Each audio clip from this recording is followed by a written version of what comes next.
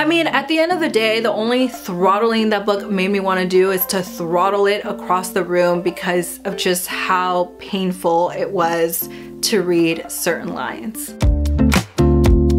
Formula One, my freaking favorite sport ever. What's up book babes? If you didn't know, well this video is certainly gonna let you know that I am a huge, huge fan of Formula One. Formula One is a racing sport where each team has to create the perfect formula for the fastest, best car of the season. Each team has two drivers, they work as a team but they're still competitors and all season long they're competing in these races to get as many points as possible for the championship and at the end of the season they name the F1 champion and I'm here to tell you that that I love that sport so freaking much and I finally treated myself to a little bit of merch which we're gonna unbox today and I'm just so excited to wear some F1 merch and show off how much I love the sport after so many years. I've posted about F1 a couple times now on my Instagram and every single time I get DMs telling me have you read Throttled? Have you read Throttled? You need to read Throttled. Throttled is the only F1 romance out there and I gotta say with lines like I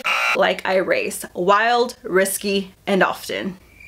I'm pretty glad that we don't have a ton of F1 romances. I finally gave in and read it, so I'm gonna give you all the tea and my honest review about the book after we go through my F1 merch. I started off by getting merch of my favorite drivers, obviously. My two favorite drivers are Carlos Sainz and Lando Norris. Lando was still a rookie when I started following F1 back in 2019, and at the time he was driving with fellow racers Carlos Sainz, so they were both driving for Team McLaren, and they are like the ultimate brotherhood team ship. We love them so much that they even have their own name. We call them Carlando. So I love Team Carlando so much, although I have to say Carlos Sainz still holds the number one seat for me, but those are my top two favorite drivers. Norris is currently still driving for McLaren and Sainz is now driving for Ferrari. He just signed with them recently. He finished a season with them and as far as we know, he is contracted for the following season. So I'm super excited to see both of these drivers. They had some iconic iconic races this last season and really showcase once more why we love them so much because despite them being on different teams, they did strategize quite well for an amazing race this last season and ended up taking first and second position in that race. So the first piece of merch I bought actually showcases Lando. So this is a nice light desert pink actually and it's so funny because I'm not necessarily a huge pink fan. McLaren is famously known for its papaya color and I wanted something that showcased that. Now I love the graphic that the artist made for this hoodie. So I ended up going with them and tried to pick a color as close to a McLarenish color as possible so it would stand out and not just be another black hoodie or a white hoodie that could get dirty really easily. Check this out. So this is the back of the hoodie. I freaking love it. I love how it showcases one of Lando's favorite helmets, which is the basketball helmet. They are able to design and change up their helmet throughout the season. And of course his racing number, which is four. I think it's so cool. It's super different. I don't love super giant graphics in the front, so I tried picking something that would really be more on the back or the sleeves or something else. And I just love that the front also has a little tiny four and I'll make sure to try it on so you let me know what you think. But honestly, this hoodie is so soft. It is so cozy. It is super comfortable. I honestly ended up loving this artist so much. Every single piece of merch that you're seeing here today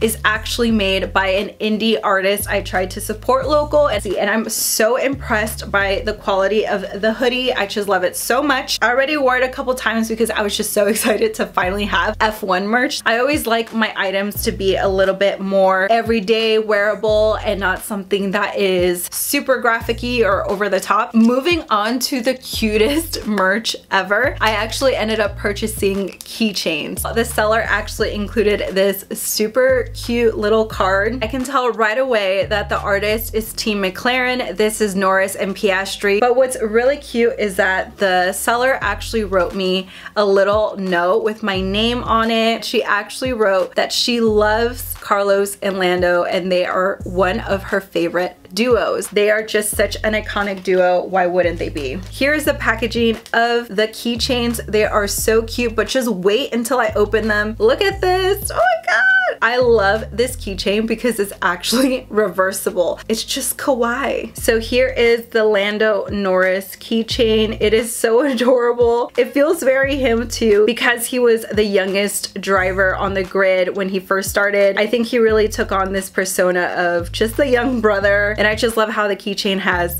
this little star. This is the Carlos keychain. I love it so much. I feel like she even got his hair so right. If you follow the sport, there are a ton of inside jokes. Sometimes we even call F1 the meme sport because there's just so many memes that come out of this and as a millennial, memes are everything. Look how cute. We have our iconic duo together. What do you guys think? Should I put them on my keys or should I put them and clip them over on my purse or a backpack or something? So yeah, shout out to that amazing artist who also included this iconic hat from the sport. It is a sticker. It is so cute. I loved their packaging so much. And now for my last piece of merch. Because I got a hoodie for Lando Norris, I had to get a hoodie for Carlos Sainz since he is my favorite driver at the end of the day. I did have a bunch of issues with this hoodie because first it was immensely oversized. I don't love super huge and baggy hoodies, at least not for this crew neck. That's not how I wanted to wear it. I had to swap with the owner. So she finally swapped it for the small size. So we're gonna try it on. Now on the back, we actually have an iconic line, which is smooth operator. This is something that we actually call Carlos Sainz. If you follow along in the sport, you know exactly what this means. Anytime he does a really smooth maneuver or a win, he tends to go on the team radio while he's driving and sing smooth operator. Unfortunately, they were about to get sued for doing that because it is broadcasted live and he can't be singing a song he doesn't have the rights to. But we still call him smooth operator. And I just love this hoodie so much because it shows off the Ferrari race car. Let's try it on. Let's make sure I show you guys what this actually looks like. I apologize in advance for the super poor lighting. It is so gloomy outside and I don't have my light around me available to highlight this better. Oh, this fit is so much better. I love it so much. This is so much better than the last hoodie where I was absolutely drowning. I have black jeans on so you won't be able to really see the cutoff but, but I gotta say it is so cute. It is a nice fit. I enjoy it. It's not overly baggy or anything like that. The other hoodie literally was just baggy all here and all on the side and all in the back and super long. It reached like my knees, which is pretty funny because this is just a size down. So I can't believe one size makes such a big difference, but I love this smooth operator. I can officially say that I'm pretty happy with this hoodie. Now, let's try on the Norris hoodie. At this super cute desert pink, this one is larger. You can tell from the size that it is bigger, but it's such good quality that I'm not even mad about it. I really like the graphics so much. We love to stand our favorite Twitch streamer. This hoodie is honestly so comfortable. I just want to wear it all the time. We have our little four right here and it's just so comfy. I love it. Let me know which one you guys think look better, but I think for now, since I want some color, I think I'm gonna go with my Lando Norris hoodie. By the way, if you're enjoying all these shenanigans like the unboxings, the try-ons, and the reviews, make sure you hit subscribed if you're not yet subscribed. All right, so moving on to this hot mess of an F1 romance, Throttled. It is actually a series, but thankfully we we do not follow the same couple for every single book. And I did hear that the series gets better and better book by book. So I'm really surprised because this first book wasn't as bad as I actually thought. But it's also probably because I've been exposed to more and more romance doing all these different challenges and reading diverse genres. So I'm probably used to some of the occasional cringiness or cheesiness in these books. Now I have to preface this by saying that I had just finished reading House of Spirits, which is such a freaking heavy book book. It was sincerely depressing and so dark and so real and even though I loved the writing in the book, it was heavy. And so I was actually really happy to read something very light, very easygoing, which I think is the point of a lot of these romance books. It's just to unplug, to have a great time, to have fun. There were still some insane lines in there that just made me, ooh. The book stars Noah Slade, an American F1 champion whose dad was also an F1 champion, so he's basically a legacy. And he's your typical douche jerk guy who's just betting everybody and he always wants to win and be on top. I mean, of course, he's an F1 driver. He wants to win that championship. His biggest rival is actually this rookie named Santiago. And Santiago was recently signed to the same team. Not only is Santiago his rival, he is now his teammate. Our love interest is Maya and Maya is Santiago's sister. She just graduated. She doesn't know what she wants to do with her life, but Big Brother is there to spend the big bucks on her and let her work on a YouTube vlog. I know, I can see the irony. She decides she's going to accompany Santiago, figure out her life. She's grateful to her brother, has a really close relationship with him, and she's vlogging about F1 and all these racers behind the scenes. Now this book itself was so strange. I did not think I'd actually like Noah Slade as a character because he's a womanizer, he doesn't care, he uses women, and his iconic and famously known routine and ritual before a race is to actually hook up with a bunch of women the night before and be all fresh in the morning. So ew, gross. You'd figure he'd give you the ick. But I was actually really surprised because the author Lauren Asher actually made RMC very dimensional and he's terrible but super hot. I mean just incredibly so hot that everyone just thirsts around him. On top of that he's this F1 driver. Of course there's gonna be all these women flocking around him but I was actually really surprised that he grew on me pretty quickly. And I was especially surprised that the character I couldn't stand was our female MC. She was just so bland, basic, boring, annoying. It was just so bad. And I actually did peek at other reviews and I was not the only one. For some reason, she just read off so one-dimensional, so basic, and none of us understood why he was so in love with her. And at one point, I wondered if it's really just her looks that he's into, and believe it or not, that's the only thing he really commented on. Noah Slade's comments comments about Maya were always about her smile, about how he feels happy when he makes her laugh, just how our MC is starting to soften. But beyond that, there's nothing really else that Maya shows off to us. She was boring, unimpressive, moving on. Now our MC actually comes with some father issues and some mother issues. His mom really doesn't care about him at all except all the perks that she can give him like Formula One tickets for her and her friends.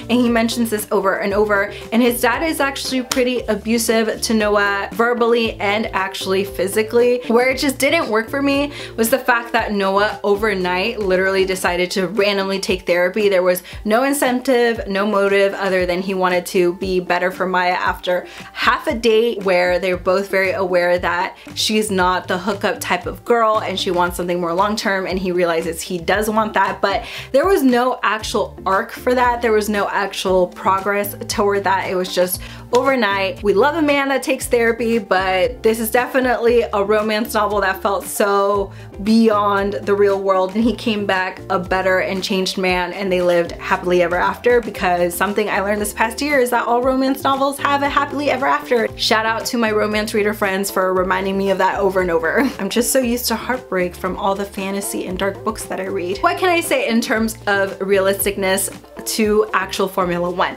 Obviously, I don't know what it's like to date a Formula One champion. I would most definitely love to go to a race one day and see all of that live. The closest thing I've gotten to is actually seeing iconic racetracks in person out in Italy, where this motorsport is super famous, obviously, because Ferrari is a long OG team and world champion. We love that team, but I would love to go to an actual Formula One race. While reading this book, it was actually really fun to see actual tracks, actual Grand Prix talked about in this book. So I really love that. I thought that was super fun. Noah's actual narrative inside was just so unrealistic. Toward the end, there's a cheesy scene that I will not tell you guys, but upon reading it, I was like, this would be the most annoying and catastrophic F1 race ever if this actually happened during a race. But you know, it's a romance, it's for fun. Other inner monologues that Noah Slade had during a race just felt so unrealistic. I am obviously not an F1 racer, but I have seen enough interviews and heard enough of what they can actually hear and see and how they experience racing to know that no, he's not looking at the crowd while he's going 200 miles per hour and he's not glancing around for certain people to be there. That just made no sense. But Lauren Asher really really did talk about team radio and strategy and the way that they're prepping and practicing and trying out all these different things to make sure that they actually win the championship. Now the fandom itself, and I'm talking about people that like this Dirty Air series, that is what the series is called, they also made fun of the fact that our love interest is a YouTuber or a vlogger. And this is because oftentimes real life F1 racers do tend to date journalists or press people. So it was actually pretty funny to see that continue on here. And it was a teammate's sister nonetheless. So that was also pretty realistic in that sense. But you know what? At the end of the day, this was an easy, fun read. People keep telling me that I should just push on and move forward. So let me know if you think I should read book two, which is Collided. And I believe Collided focuses on an F1 racer that we meet in Throttled, but he is supposed to be even worse than Noah Slade in terms of being a womanizer and an absolute jerk. So that would be pretty fun to read and see where it ends up. I feel like I would have given this book three stars overall because it's fun, it's whatever, it's easy breezy. Up until the end, again, I'm not gonna ruin it for you, but that ending was just way too over the top. And to be quite honest with you, I completely thought they were gonna break up. Like sincerely, I thought that was where this was going because again, I forget that romance has happily ever after. And also just the way they were talking and communicate, it was just, ugh. So what does this say about my rec? Well, I definitely recommend you watch the sport and get into F1, not necessarily into F1 romance. but this does seem like a fun, silly read and it's the only F1 romance book out there. I feel like I should try it. I feel like I should continue and see what the fuss is all about. I love my F1 merch. We'll see if I continue this F1 romance. Make sure you hit that like button, comment your favorite piece of merch. Thank you for watching and I will see you in the next video. Bye!